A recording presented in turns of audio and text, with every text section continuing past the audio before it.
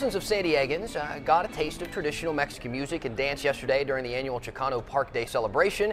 But 10 News reporter Marie, uh, Riel Creighton rather found out frustrations are growing over a problem at that park that most people say should have been fixed a long time ago.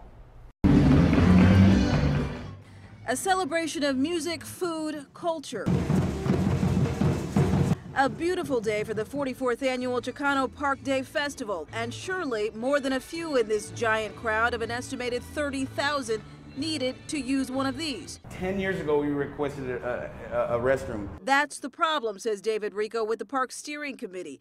He took us inside to see the bathroom he says has been out of order for a very long time. The, the drainage system here is no good.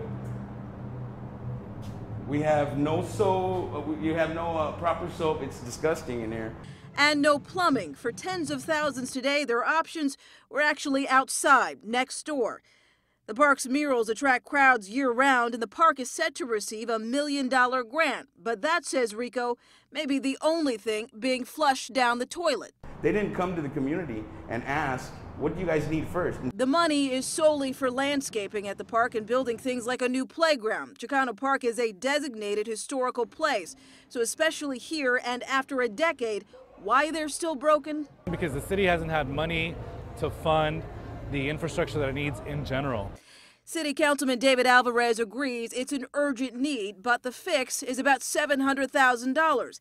He says he's working with the council to find a less expensive solution before things get messy. I mean, if you come to a park and it doesn't have amenities, basic amenities like bathrooms, why would you want to go back? Riel Creighton, 10 News. And Riel tells us the problems with the bathrooms actually go beyond just fixing drainage and plumbing problems. They also have to be made wheelchair accessible.